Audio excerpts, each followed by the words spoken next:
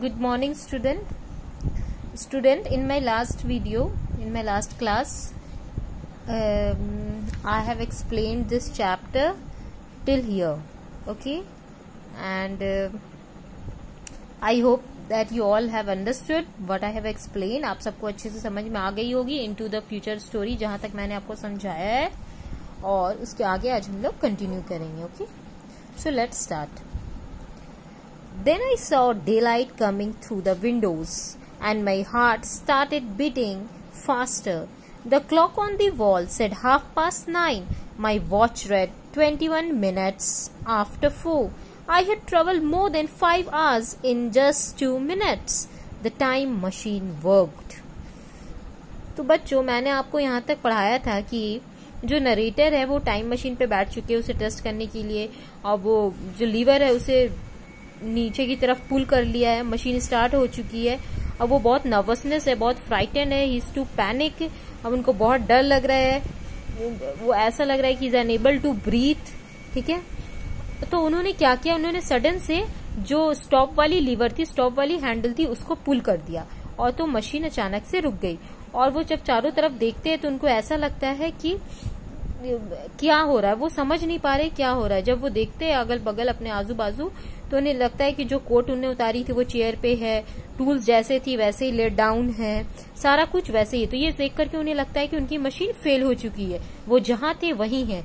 वो फ्यूचर में ट्रेवल नहीं कर पाए। फिर अचानक से वो देखते हैं कि विंडो से रोशनी आ रही है। अब उनका जो हार्ट बीट था वो और ज़्यादा तेज चलने लगा। जो क्लॉक थी वॉल पे, वो वो टाइम दिखा रही थी half past nine. That mean साढ़े नौ बज रहा था। और उनकी जो वॉच जो उसने अपने हैंड वॉच पहनी थी रिस्ट वॉच पहनी थी, उसमें टाइम 21 मिनट्स आफ्टर फोर मैंने आप लोगों को बताया था ना 19 minutes after four you can see 19 minutes past four में उन्होंने स्टार्ट की थी मशीन ठीक है? और जब अब वो टाइम अपने रिस्ट वॉच में देख रहे हैं तो वहाँ हो रहा है 21 मिनट्स आफ्टर फोर मतलब two minutes two minutes past और वो कितना आगे बढ़ चुके हैं? ये travel more than five hours पाँच घंटा वो आगे बढ़ चुके हैं. क्योंकि उनकी जो क्लॉक थी वॉल क्लॉक उसमें टाइम शो कर रहा था हाफ़ पास नाइन ठीक है? तो अगर हम काउंट करेंगे तो वो फाइव आवर्स आगे बढ़ चुके हैं।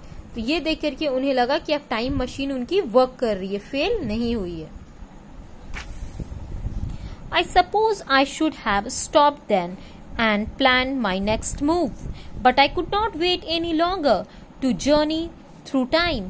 I pulled the lever down again, a little harder than before. Time outside the time machine speeded up. I saw my housekeeper whiz into the room and clean it in record time. It was clear that she could not see me. I pulled the lever further down and saw the window grow dark. Then it brightened. Then it darkened again. Days went by like blinking lights. I pulled the lever down even more and everything around became a blur. The walls and the window of my workshop vanished. The machine was swaying now. I wanted to pull the lever all the way down. I did.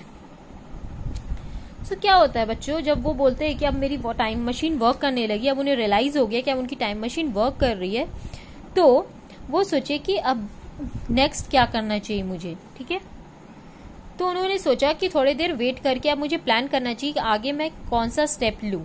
लेकिन उन्हें इतना जल्दबाजी था, उतने उन्हें जल्दी थी अपने फ्यूचर में ट्रैवल करने की कि उन्होंने ज़्यादा टाइम नहीं लिया सोचने का।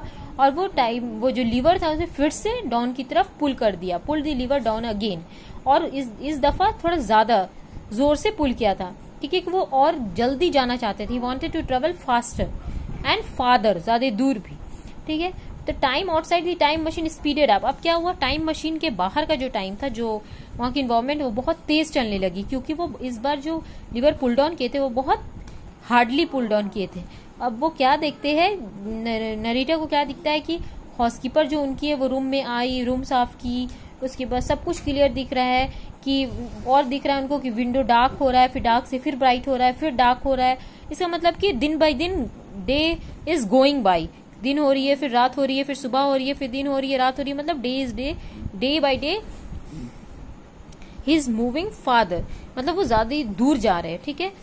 ये सब उनको रियलाइज़ अब होने लगा। अब उन्होंने क्या किया? उन्हें और जल्दी जाने का मन था, और fast he wanted to travel more faster than what he did वो फिर से लीवर डाउन पुल किए और इस टाइम और ज़ोर से और हार्डली पुल किए। तो अब सारी चीज़ें ब्लर हो गई। The walls the window of the workshop vanished जो उनका वर्कशॉप का विंडो था, वो कुछ नहीं दिख रहा। सारी चीज़ें बलम मीन्स धुंधला। ठीक है, सारी चीज़ धुंधली दिखने लगी। उनके वॉल्स जो दीवारें थी विंडो थी वर्कशॉप की, सारी चीज़ें गायब हो गई। द मशीन जो था, वो swaying now swaying means student moving from side to side that means shaking you can say machine वो बार बार इस तरीके से इस तरीके से शेक होने लगी।